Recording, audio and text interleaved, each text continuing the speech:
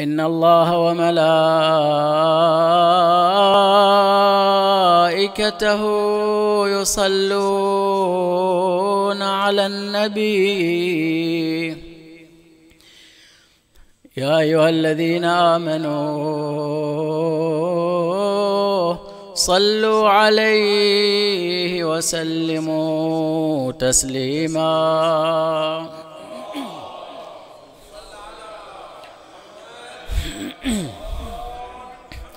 يا آل بيت رسول الله حبكم. فرض من الله في القرآن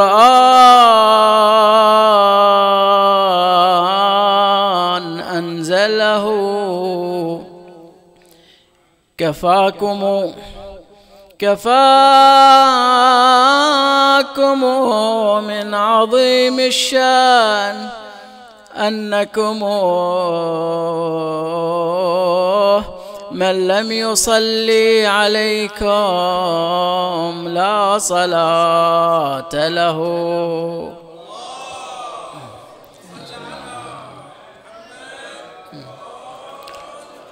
آل بيت آل بيت طهروا من دنس ولهم في الحشر أسمى الدرجات وإذا ما ذكروا في مجلس فارفعوا أصواتكم بالصلوات.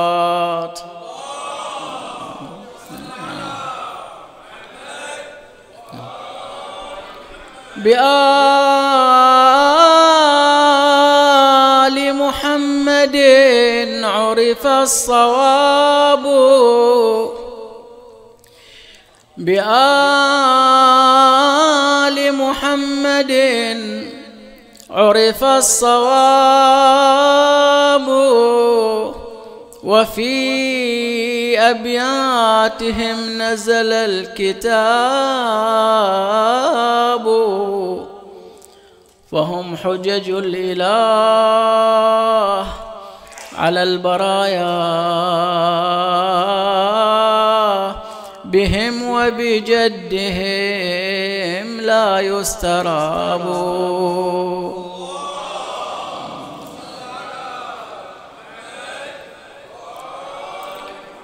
ولايتي ولايتي لأمير النحل تكفيني عند الممات. وتغسيلي وتكفيني وعي وطينتي عجنت من قبل تكويني بحب حيدر كيف النار تكويني.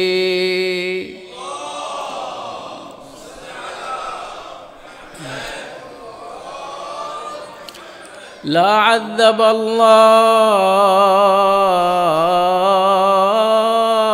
أمي إنها شربت. لا عذب الله أمي إنها شربت. حب الوصي وغذتني باللبن. وكان لي والد يهوى أبا حسن. فصرت من ذي وذا أهوى أبا حسن.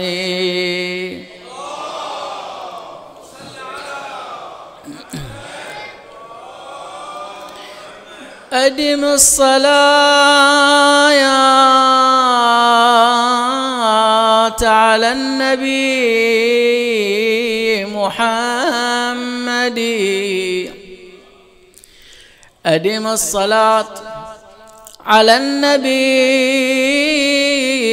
محمد. فقبولها حتما بغير تردد. أعمالنا بين القبول وردها. إلا الصلاة على النبي محمد.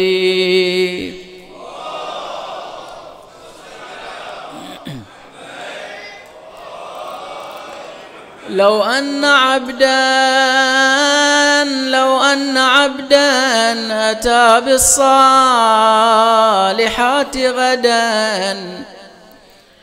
وود كل نبي مرسل وولي.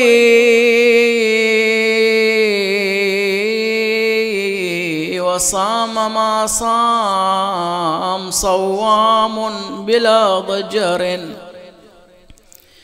وقام ما قام قوام بلا ملل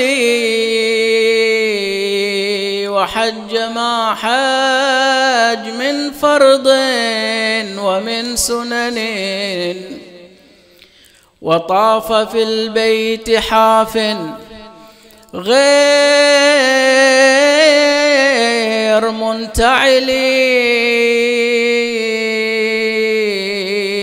يكسو اليتامى من الديباج كلهم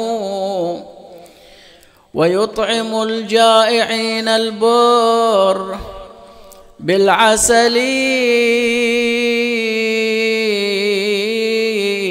وطار في الجو لا يأوي إلى أحد وغاص في البحر مأمونا من البلل وعاش ما عاش آلافا مؤلفة خال من الذنب معصوما من الزلل. ما كان في الحشر عند الله ينفعه. إلا بحب أمير المؤمنين علي.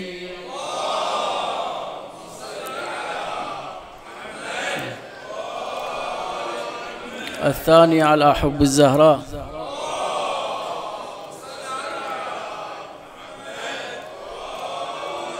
الثالثة لصاحبة هذه الليلة.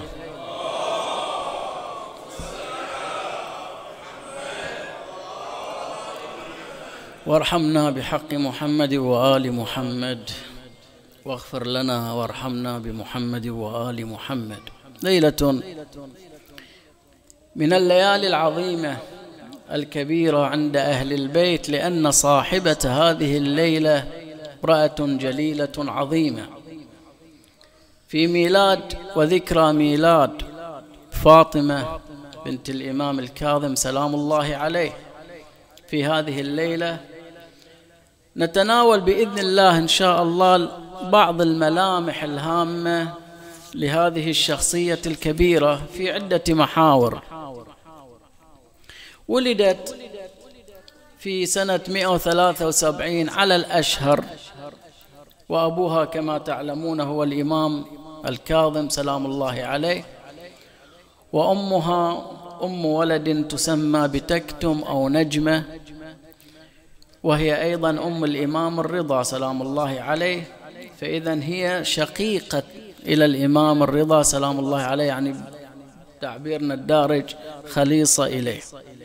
واقعا أول ما يثير في هذه الشخصية العظيمة هو اسمها فهي سميت باسم فاطمة. ونعرف بأن أهل البيت سلام الله عليهم كانوا يهتمون بهذه التسمية باسم فاطمة. لماذا؟ لجلالة قدر هذا الاسم الذي يدل على فاطمة الزهراء سلام الله عليها. لذلك حينما يأتي أحدهم إلى الإمام الصادق سكون يجي للإمام الصادق في يوم من الأيام يدخل عليه وإذا هو مغموم سكون مغموم أحد أصحاب الإمام. يسأله ما بك. فيقول له لقد ولدت لي بنت كان يتمنى يجيه ولد. فقال وما في ذلك؟ فعلى الأرض ثقلها وعلى الله رزقها. قال له وبما أسميتها؟ قال أسميتها فاطمة. استبشر وتهلل وجه الإمام. فقال له أوما وقد أسميتها فاطمة فلا تلعنها ولا تضربها ولا تسبها فقط إجلالا لاسم فاطمة وإجلالا وإلى ما وضع وما وقع على فاطمة فقط من أجل هذا الاسم. لذلك الإمام الكاظم سلام الله عليه عند أربع من البنات كلهم باسم فاطمة. ومن ضمنهم هذه فاطمة المعصومة أولا فيما يشار إلى مسألة ورودها إلى قم. طبعا بعد أن أشخص المأمون الإمام الرضا سلام الله عليه إلى خراسان نفاه إلى خراسان. بقيت هي فأرادت أن تلحق بالإمام بعد ذلك بعد سنة من إشخاص ومن نفي الإمام. بالفعل بعد سنة عدت العدة إلى أن ترد على أخيها. قطعت مسافات طويلة جدا. ما كانت وسائل المواصلات مثل اليوم بطبيعة الحال ولا كانت الطرق والشوارع معبدة مثل اليوم. فخرجت إلى أن وصلت إلى قرب قم هنا في روايتان في الواقع. رواية تقول بأن القافلة تعرضت إلى سطو من أعداء الرسول محمد صلى الله عليه وآله وقتل كل الرجال الذين في القافلة. ولم يبق إلا النساء فمرضت فاطمة المعصومة في ذلك الحين. رواية تقول لا بأن القافلة مشت كما هي طبيعية ولكن قبل وقبل مسافات من مدينة قم تعللت ومرضت فاطمة المعصومة فسألت هل نحن بعيدون عن قم؟ عن هذه المنطقة لما سمعت من قم ولما تعرف من قم؟ لأن الكثير من الروايات عن أهل البيت عليهم السلام وردت في قم وفي فضل قم وإن قم عش أهل البيت وملاذ شيعة أهل البيت. وإذا حدث بلاء في الأرض فإن أفضل مكان مأمن هو قم في روايات أهل البيت. فأخذوها إلى قم سمع هناك أحد الموالين من الأشعريين وأصلهم من اليمن واسمه موسى بن خزرج الأشعري. كان زعيم قبيلة شيخ عشيرة. سمع بأن فاطمة المعصومة قد أقبلت فخرج لاستقبالها مع جمع من وجوه قم وأنزلها في منزله في بيته. وبقيت في بيته لما يقارب من 17 يوم عليلة مريضة إلى أن توفيت. سلام الله عليها فدفنها في مزرعته. نفس المزرعة اللي هو الآن المرقد الموجود كانت مزرعة إلى موسى بن خزرج فدفنت في ذلك المكان. هذه فقط كإطلالة سريعة على سيرتها وورودها إلى قم واقعا ما هو مهم أيها الأحبة أن ندرس هذه الشخصية. لماذا أصبحت شخصية عظيمة؟ لماذا في بعض الأحيان ترد أن هناك بعض الشخصيات تكون كبيرة في واقعها عظيمة؟ لماذا أصبحت هذه الشخصية مرموقة ومحترمة بين الأئمة؟ هناك عدة من الأئمة ماذا تكلموا عن هذه الشخصية؟ لماذا؟ لوجود بعض الصفات الموجودة فيها إحنا راح ندرس شيئا من ملامح شخصية فاطمة من خلال ما ورد على لسان الأئمة عليهم السلام ولسان الرواة من صفات لها. أول صفة من الصفات وردت بأنها كريمة أهل البيت. كريمة أهل البيت. يقولون السيد محمود المرعشي هذا والد السيد شهاب الدين المرعش النجفي عايش في النجف. في يوم من الأيام أقسم على أمير المؤمنين ذهب إلى أمير المؤمنين في النجف في مرقد الإمام وتعبد في مرقد الإمام وأقسم على أمير المؤمنين بأن يكشف له أين قبر فاطمة الزهراء سلام الله عليها يقول أنا أريد فقط أعرف وين قبر لو رحت أزورها أعرف وين أزورها. بس هذا الأمر أريده. ظل أربعين ليلة وهو في مرقد الإمام يتعبد ويصلي ويطلب من الإمام ببركة الإمام يطلب من الله أن يعرفه موضع قبر فاطمة الزهراء سلام الله عليها. في الليلة الأربعين يقول السيد يقول في الليلة الأربعين جاءني الإمام فقال لي يا سيد لا أستطيع أن أبوح بسر ائتمنتني عليه فاطمة. قالت هي لا خل أعفي موضع قبري وما حد يعرفه. لكن إذا أردت أن تزور فاطمة ولك من الأجر ولك من الأجر زيارة الزهراء فزر كريمة أهل البيت. الإمام يقول لي زر كريمة أهل البيت. قال له ومن كريمة أهل البيت؟ قال له فاطمة بنت الإمام الكاظم الموجودة والمدفونة في قم. فهاجر السيد محمود المرعش النجفي من النجف وذهب إلى قم وبقي هناك في قم. وإلى الآن موجود قبر شهاب الدين المرعش النجفي موجود في قم وموجود في مكتبته التي أسسها في قم.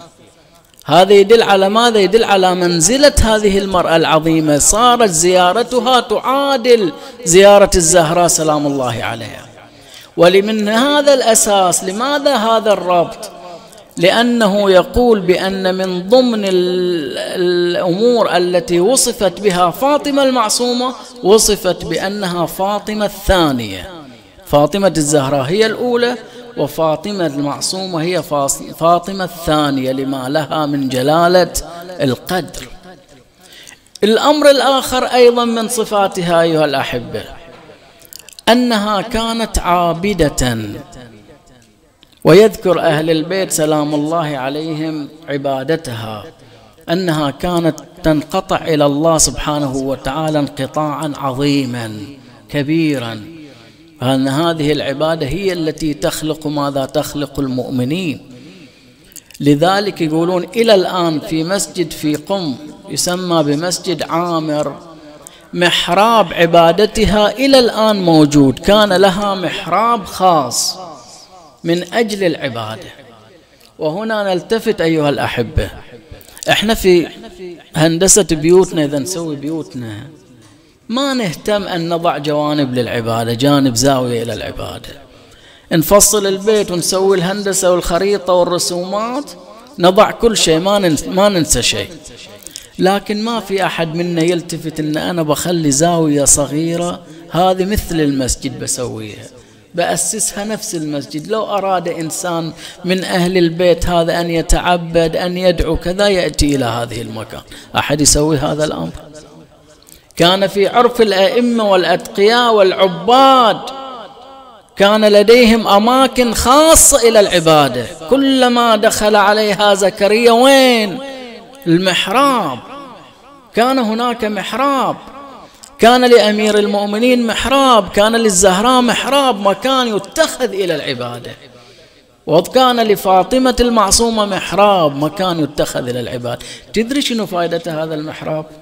أنك تعتاد في العبادة في مكان ما حتى لو في منزلك. شنو فائدته؟ يقول الفقهاء أنه عند ساعة الاحتضار. إذا الله سبحانه وتعالى أراد أن يقبض روح إنسان. يقولون يستحب إذا كان هو في المنزل يستحب أن يوضع في في مكان عبادته في محرابه. يشيلونه؟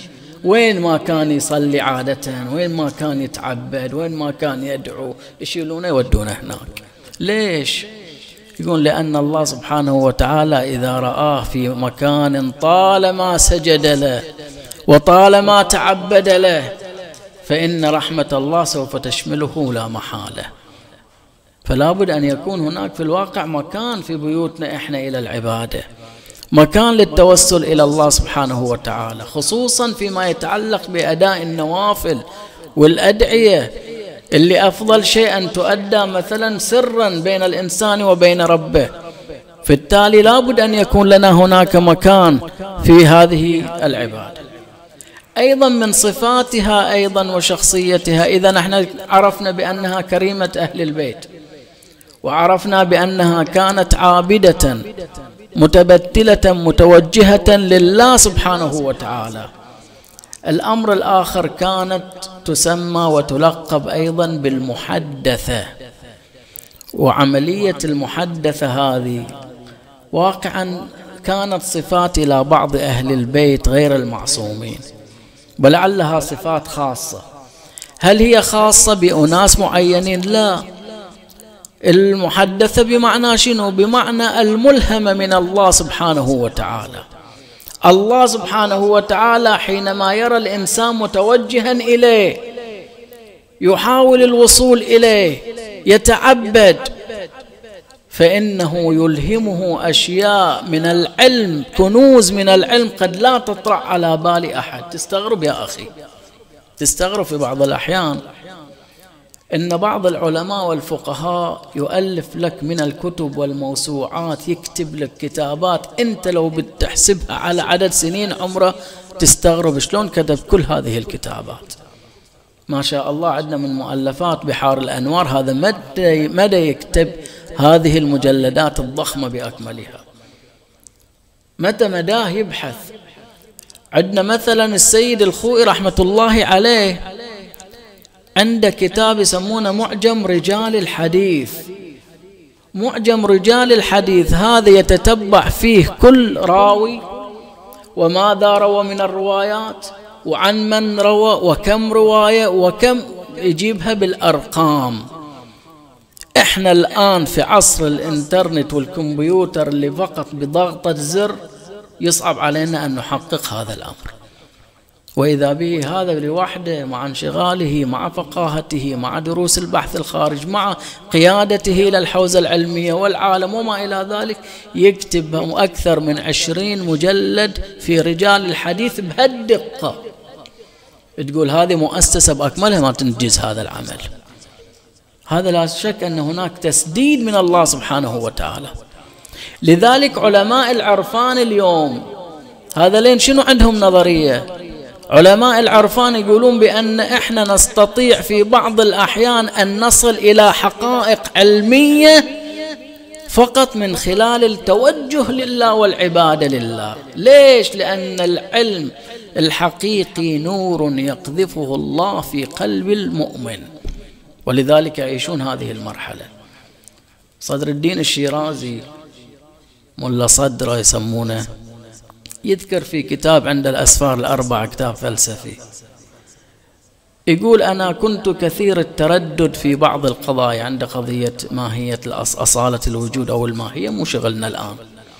يقول كنت كثير التردد فيها. يوم أستدل كذي وأجيب دليل ثاني ويوم دليل ويوم دليل ثالث. لما عبدت الله وتوجهت إلى الله بانت لي الحقيقة. قال تعالى بسم الله الرحمن الرحيم. والذين جاهدوا فينا لنهدينهم سبلنا. حينما تجاهد النفس تشوف الله يفتح لك أبواب من المعرفة أبواب من العلم. تقول سبحان الله شلون هذا الإنسان العادي استطاع أن يصل إلى هذه المعلومات؟ وناس قضوا سنوات في العلم وما وصلوا إليها. هو توفيق من الله سبحانه وتعالى. لذلك أيها الأحبة حينما في الواقع نريد أن نصل إلى معرفة الله المعرفة الحقيقية. علينا واقعا اولا أن نضمن عملية العبادة الحقيقية لله. نتوجه إلى الله سبحانه وتعالى. ثق تماما. أنك حينما تتوجه إلى الله الله سبحانه وتعالى يهديك. يقول عن أهل الكهف إنهم فتية آمنوا بربهم فزدناهم هدى. لأنهم توجهوا إلى الله انطلقوا إلى الله آمنوا بالله. فكانوا ماذا؟ كانوا مصداقا إلى عطاء الله وروحية الله سبحانه وهكذا.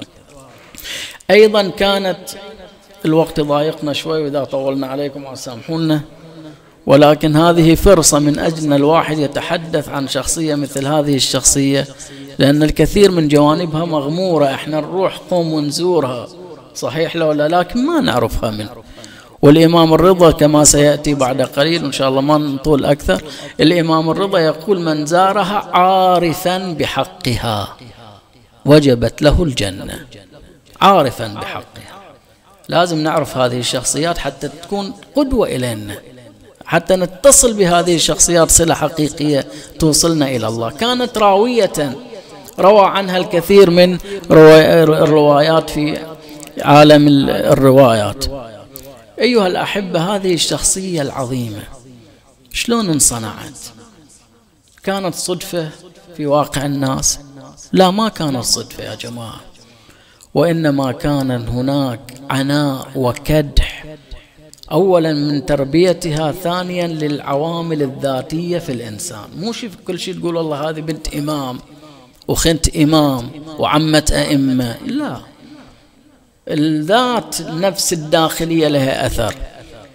علماء التربية علماء الاجتماع يقولون الشخصية تأثر فيها أشياء اللي تصنعها. منها البيئة يتأثر بالبيئة المحيط. منها التربية ومنها أيضا الوراثة العوامل الوراثية وهكذا. لكن أهم شيء هي العوامل الداخلية في النفس. هذا أهم شيء. وإلا فإن أبناء آدم عاشوا ماذا؟ قابيل وهابيل. عوامل وراثية مشتركة. تربية واحدة. بيئة متشابهة واحدة. ولكن طلع فارق بين هذا وبين ذاك. ليش؟ للإندفاع النفسي. من أبناء الأئمة سلام الله عليهم من خرجوا منحرفين. الرسول صلى الله عليه وآله نبي الله محمد.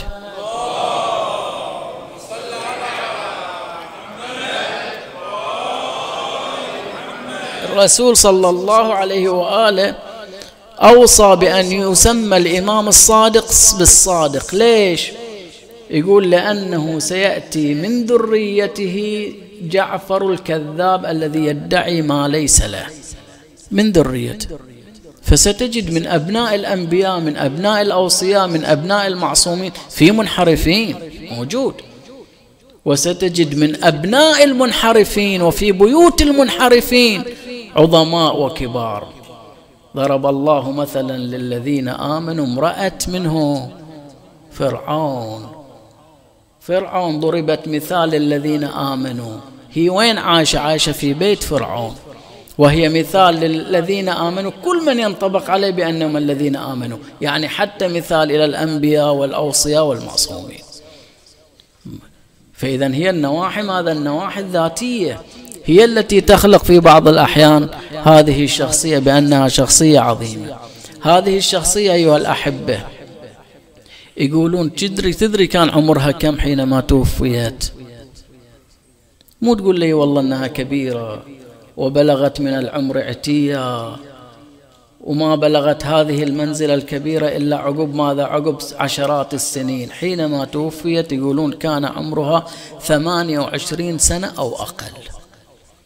ثمانية وعشرين سنة أو أقل. هذه كان عمرها سلام الله عليها حينما توفيت. بعضهم يقول أقل من هذا السن. وشوف شلون وصلت إلى هذا المقام الكبير. ولكن أيها الأحبة خصوصا إلى الأخوات إلى الفتيات إلى أخواتنا النساء قد بأن في بعض الفتيات بعض النساء وكذلك بعض الشباب من يصل إلى سن الثلاثين ويصل إلى سن الأربعين وهو ما زال في ترهات المراهقة.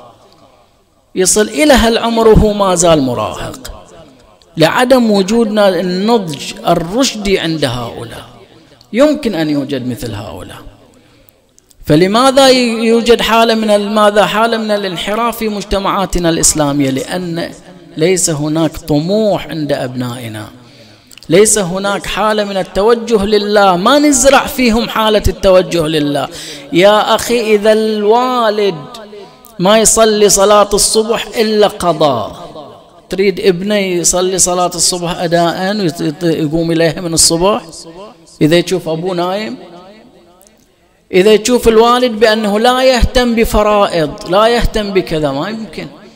لكن البيت المؤمن وكلكم مؤمنون بإذن الله الذي يحافظ على العبادة ويحافظ على الصلاة ويحافظ على الصدقة ويحافظ يخلق جو صحي صحيح. من أجل ماذا؟ من أجل عبادة الله سبحانه وتعالى. زين. النقطة لعلها الأخيرة. إن شاء الله ما نطول عليكم كثير. خمس دقائق في هذه النقطة تقريبا. وهي ما يتعلق بفضل زيارتها. كثير من الناس اليوم أيها الأحبة يروحون يزورون. أعرف ممن؟ أعرف من المؤمنين. من يذهب إلى مشهد في السنة ثلاث أربع خمس مرات يروح خصوصا مع حملات وكذا. لكن ما يعرج على قم إلا في السنة في السنوات يمكن مرة. وواقعا في بعض الأحيان ترى يعني نجد أهمية عند أهل البيت بزيارة بعض المراقد غير المعصومين. ومن ضمن هذه المراقد مرقد سيدنا الحمزة من زارني ولم يزر عمي الحمزة فقد جفاني. اهتمام لقدر هذه لعظمة هذه الشخصية. ومنها أيضا مسألة زيارة فاطمة المعصومة. بذكر لكم فقط روايات مو عن فلان وفلان لا عن الأئمة في فضل زيارتها. يقول الإمام الصادق سلام الله عليه. إن لله حرما إلى ما بقرأ النص كامل. يقول إلا ألا إن للجنة ثمانية أبواب. ثلاث منها إلى قم. ثلاث منها إلى قم. تقبض فيها امرأة من ولدي. اسمها فاطمة بنت موسى. وتدخل بشفاعتها شيعتي الجنة بأجمعهم.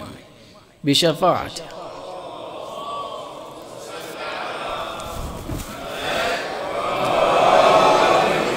شوف عظم هذه الشخصية.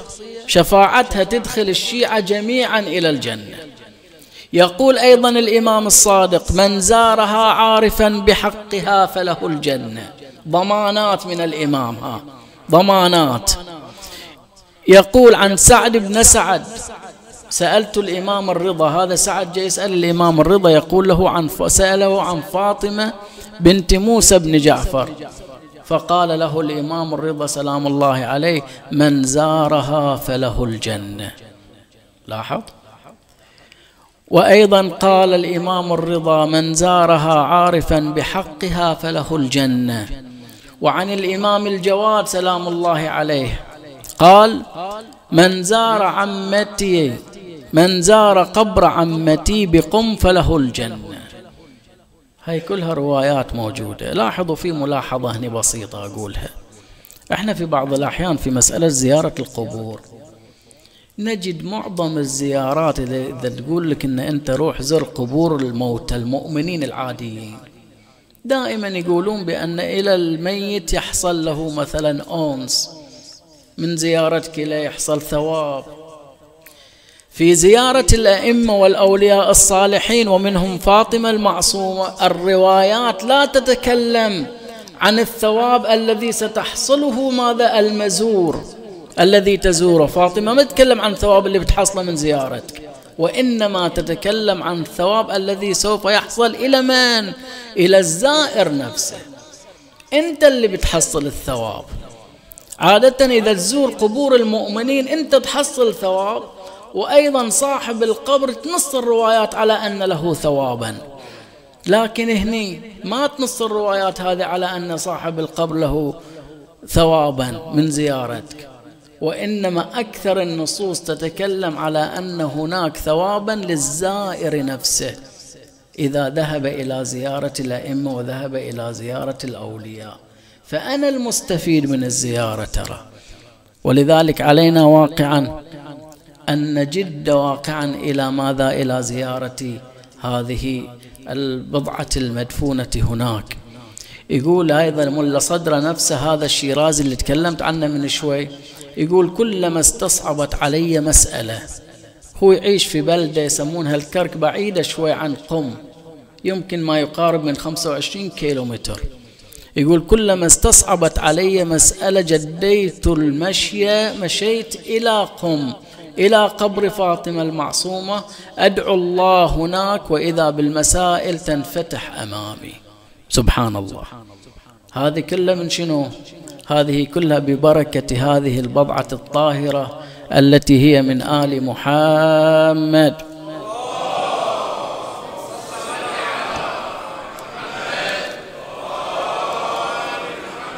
الثانية.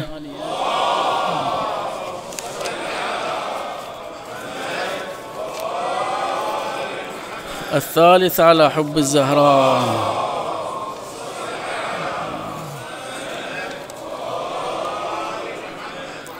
فيكم جاء شوي كم جلوة إن شاء الله. بركة هذه الليلة إن شاء الله ما نطيل صلى الله على محمد صلى الله عليه وآله. صلى الله على محمد. إيه إيه بعد. بارك الله بارك الله. صلى الله على إيه لا مجد سوى مجد محمد نور في الأكوان مخلد شمس في الآفاق توقد. يا مصطفى طه يا أحمد كشف الله به الظلمات وغدا الهادي فوق هدات. آيات تتلو آيات لا نور سوى نور محمد. صلى إيه إيه صوت صوت. صلى الله عليه وآله. صلى الله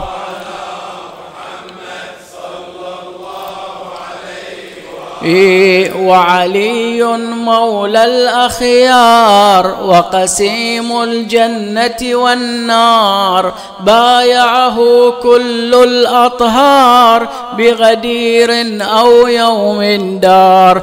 أبصم يا كرار بدمي في اليقظة أهواك وحلمي معكم في الحرب وفي السلم. يا نفسا للطهر محمد. صلى إيه.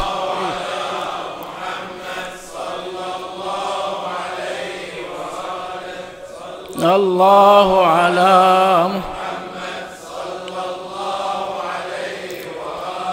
فاطمة طهر الأطهار يا بضعة نور المختار لا تنجب إلا الأقمار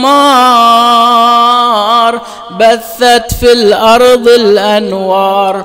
دري كوكبها نظر ومضي سندسها عطر. كل الأملاك بها سحروا عرفوها زهراء محمد.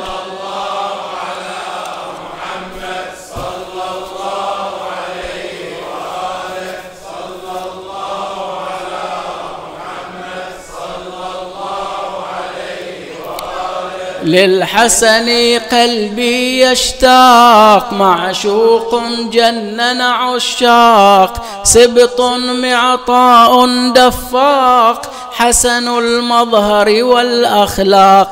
فسلام الله على الحسن معطاء شهم مؤتمن. أحيا فينا كل السنن نفديك يا سبط محمد.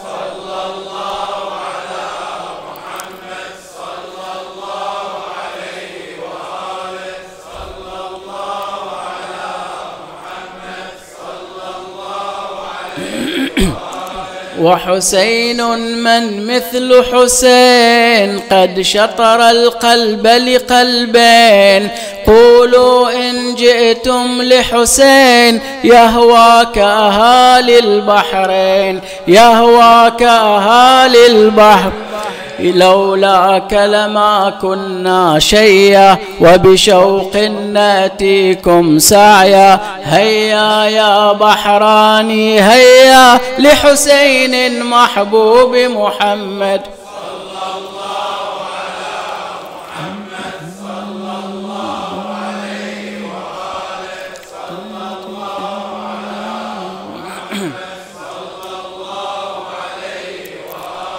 فاطمة المعصومة نور من السماء للمؤمنين. فاطمة المعصومة نور من السماء للمؤمنين. بنت مام اختمام عمة أئمة طاهرين. منها قم ضوت وصارت فوق نور الفرقدين لها من عدنا التحية. عابدة وبرة وتقية.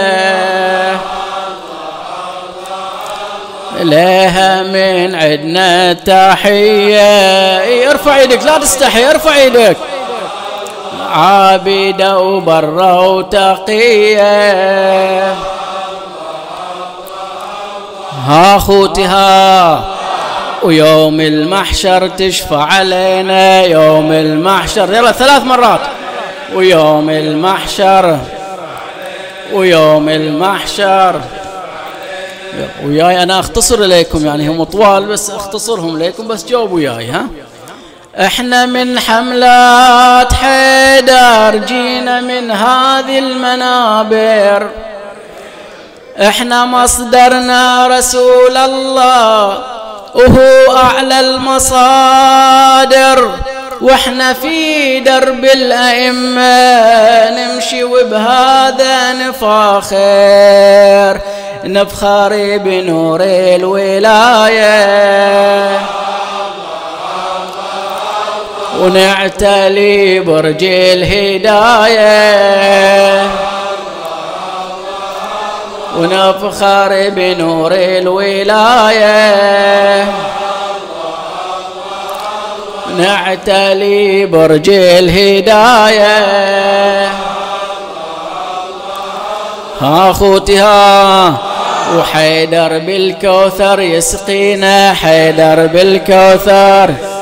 وحيدر بالكوثر حيدر بالكوثر يقول الحديث شيعتنا خلقوا من فاضل طينتنا.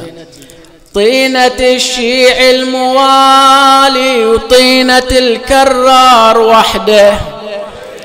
طينة الشيع الموالي وطينة الكرار وحده جزيئات عجلنا واجتمعنا كلنا عنده. واللي والي قلب حيدر واللي والي قلب حيدر ما في بين الناس قد اسمع ننفجر والنادي حيدر. تحضر بكل شدة تحضر. ننفجر والنادي حيدر. تحضر بكل شدة تحضر. ها خوتها بس كلمة حيدر تنجينا بس كلمة حيدر. إيه بارك الله. إيه بس كلمة ما يهمنا من الأعادي وما يهمنا من الدواعش. ما يهمنا من الأعادي وما يهمنا من الدواعش. إحنا من أبواب جينا وهم فروا من الدرايش. إحنا من ابواب جينا وهم فروا من الدرايش. نبقى إحنا الاصل في التاريخ ويبقون الهوامش. يدعون دولة خلافة ها؟ تدعي دولة خلافة. بس علي دولة خلافة. تدعي دولة خلافة. بس علي دولة خلافة. ها خوتها وما غير حيدر هادينا ما غير ما غير حيدر وما غير حيدر بسم الله الرحمن الرحيم. اللهم صل على محمد وآل محمد. اللهم كن لوليك الحجة ابن الحسن.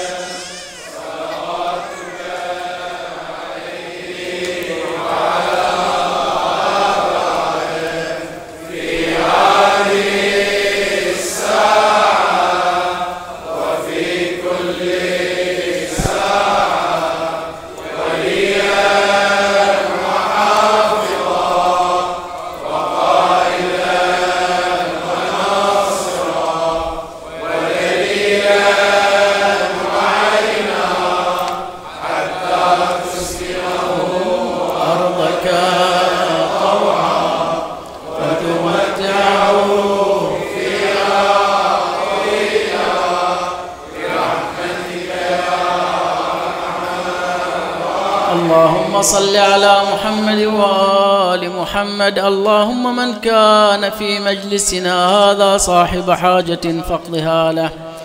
اللهم فرج لنا من عندك فرجا عاجلا قريبا يا رب العالمين.